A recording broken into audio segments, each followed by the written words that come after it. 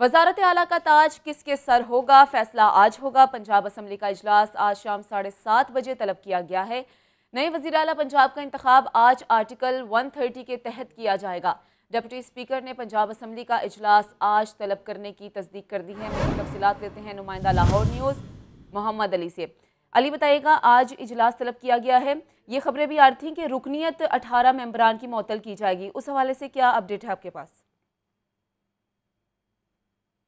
रात के एक नोटिफिकेशन जारी हुआ जिसमें डिप्टी स्पीकर दोस्त मजारी का कहना था कि उन्होंने आर्टिकल 130 के तहत आज इजलास में जो वज़ीर पंजाब का इंतखब करना है, क्योंकि गुज्त रोज़ इमरान खान लाहौर में थे और उन्होंने अहम मुलाकातें की, जिसके बाद रात के ये फैसला किया गया और आज शाम साढ़े सात बजे पंजाब असम्बली का इजलास तलब किया गया है। जिसमें इजलास का मकसद सिर्फ़ ये है, क्योंकि तमाम सियासी पार्टियाँ, क्योंकि लाहौर का दर्जा अगर सियासी तौर पर देखा जाए तो आज काफ़ी गर्म नज़र आएगा आपको।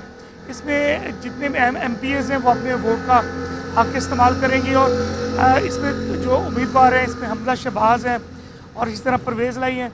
दोनों उम्मीदवार जो उनसे हैं, वो एक तगड़े उम्मीदवार हैं। लेकिन कहा यह जा रहा है कि कुछ ग्रुपों ने हमदा शहबाज की हमायत का ऐलान किया है और इस हवाले से दो से तीन रोज़ कबल जो मीटिंग्स हुई हैं, उसके बाद ये फैसला हुआ कि आज जो वोटिंग होगी, उसमें कौन सी पार्टी जीती है? पंजाब का जो सेहरा किसके सर सजता है और वज़ी अला पंजाब की शेरवानी कौन आज पहनता है? इस हवाले से आज इजलास उनसे शाम साढ़े सात बजे होगा। इसमें इजलास में एडवोकेट जनरल पंजाब के सुप्रीम कोर्ट में शकीन दहानी के तनाजर में बुलाया गया है। ऐसा कहना है डिप्टी स्पीकर का, उनका ये भी कहना है कि वज़ी अला का इजलास, इस हवाले से जो मीटिंग थी, इजलास की वो पहले सोलह अप्रैल तक मौखर की गई थी, लेकिन रात गए जो उनसे, उन्होंने आर्टिकल 130 के तहत इस कार्रवाई को किया और आज उन्होंने इंतखब के हवाले से वजी अला के अजलास तलब किया है। जो मम्बरान की रुकनीत मअतल करने के हवाले से, उसके हवाले से ज़रा का ये कहना है कि इस अजलास में फ़ैसला किया जाएगा, उससे चंद घंटे कबल जो उनसे मीटिंग होगी डिप्टी स्पीकर की क्यादत के अंदर, जिसमें तमाम पार्टीज़ और बिलखसूस जो हुकूमती पार्टी बैठेगी, और इसी तरह अपोजिशन वाले भी इस हवाले से जो वो सरगर्म है।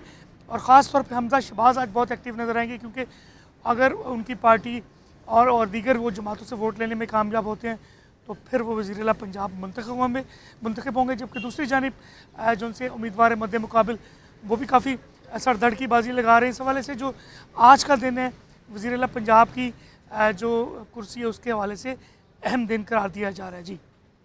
ठीक है, मोहम्मद अली, आपने तफसीला अपडेट किया, आपका बेहद शुक्रिया।